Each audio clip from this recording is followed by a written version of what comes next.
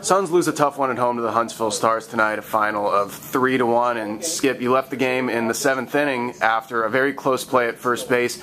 What did you see, and how was it explained to you when you went out onto the field? Um, I thought Noah beat it out. He did a great job putting the ball in play right there. Two strikes, hit the ball deep in the hole. The shortstop made a great play. I mean, no question, made a great play. I thought he beat it out clearly. I don't know if I'm right or wrong. I haven't seen the replay.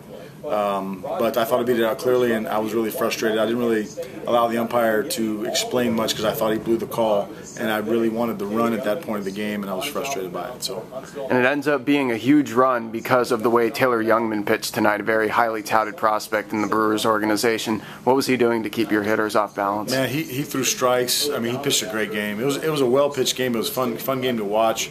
Uh, they matched up. Uh, Jay and, and uh, the kid from from Huntsville really threw the ball well it was just, you know, that's why, you know, I got a little frustrated there because I really wanted that run. I knew it was it was going to be tough to score runs against him the way he was pitching, and to be able to, um, you know, get that run in right there, I thought we had it, and it was, you know, frustrating. I lost my cool a little bit. You mentioned Jay. At one point, he retired 19 hitters in a row. In a season that has seen him make a lot of good outings, this might have been his best. Yeah, he pitched great. I mean, gave up a run early. Really wasn't throwing the ball well early, but they started coming out better later, and he started making pitches later, and. Uh, you know, he, he was he was outstanding. It's a game you really want to win with, with a starting pitching performance like that.